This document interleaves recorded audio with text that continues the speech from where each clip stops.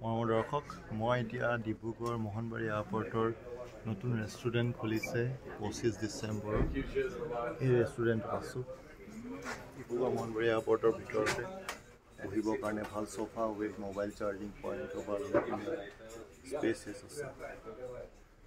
আৰু বহুত ধুনীয়াকৈ ৰখা হৈছে। ইয়াত আপোনাৰ ৰেষ্টুৰেণ্ট ফুড কোৰ্ট এৰিয়া লিখা হৈছে। সকলো ইয়াত ব্যঞ্জন পোৱা যায়। আৰু ফাৰ্ষ্ট ফ্ল'ৰত আপোনাৰ যোনটো কানেক্টিং আছে তাৰ হেৰিত আছে।